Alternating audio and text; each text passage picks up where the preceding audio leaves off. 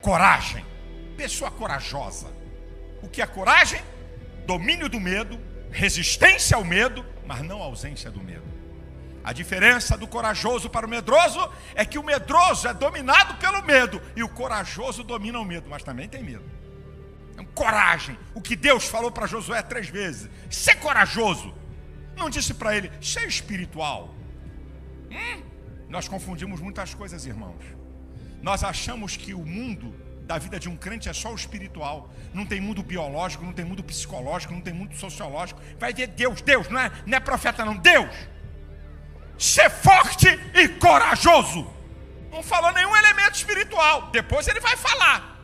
Mas ele fala dos elementos humanos mais do que o espiritual. Josué, ser corajoso. Você vai ter medo, mas enfrenta, encare. Porque a coragem, você vai derrubar o medo. E o medo não vai te paralisar, porque uma das coisas mais terríveis do medo é a paralisia do nosso potencial. Deixa eu fazer uma pergunta para você muito séria. Para você chegar aqui hoje, quantos leões e ursos você já venceu na sua vida? Qual foi deles que te destruiu?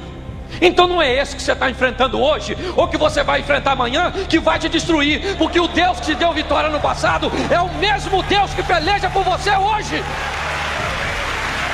Não tenha medo do gigante.